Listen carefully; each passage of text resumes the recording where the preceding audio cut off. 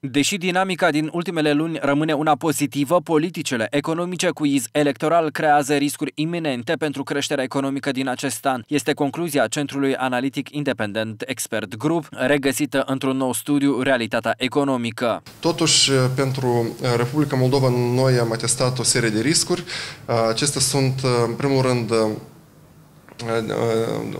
derivă din, din faptul că Moldova are un cadru de combatere a spălării banilor, unul destul de fragil. Legea cu la combaterea spălării banilor și finanțării terorismului a fost aprobată, dacă nu greșesc, în decembrie 2016, deci foarte recent, și respectiv noi suntem încă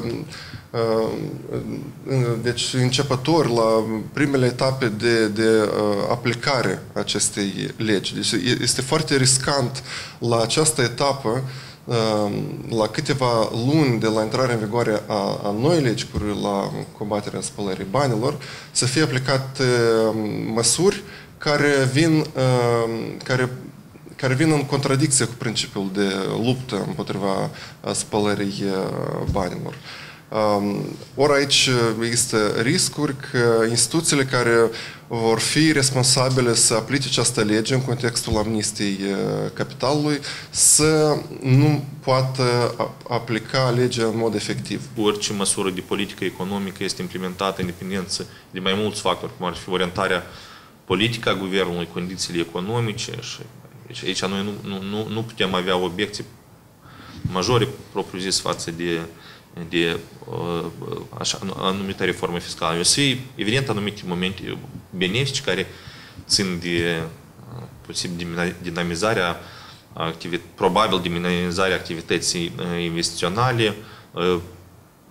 Evident că va fi demotivată angajarea informală și datorită la acestor factori o să avem și o um, intensificarea activității economice. Însă, concomitent, evident că sunt și anumite uh, momente negative care uh, se referă la, unul, la, la creșterea inegalității sociale, ori um, impozitarea prin cotă unică va favoriza, bine, va favoriza toate categorii, toate, uh, toți salariații, însă cel mai tare va favoriza persoanele care obțin venituri mari și, drept urmare, va crește decalajul dintre veniturile persoanelor mai înstărite și a persoanelor mai săraci. Raportul mai arată creșterea economică din acest an va fi una compromisă și de condițiile climaterice, dar și întărirea leului moldovenesc, care s-a apreciat în perioada lunilor ianuarie-august cu aproximativ 14,8%. Seceta va afecta culturile legumicole și cele de toamnă, dar și dinamica sectorului agricol pe ansamblu, iar fortificarea leului va afecta consumul gospodăriilor care primesc transferuri de peste hotare ca urmare a scăderii puterii de cumpărare în termen real a remitenților. Ediția din septembrie septembrie a realității economice a venit și cu unele comentarii și asupra principalelor inițiative lansate de guvern și legislativ.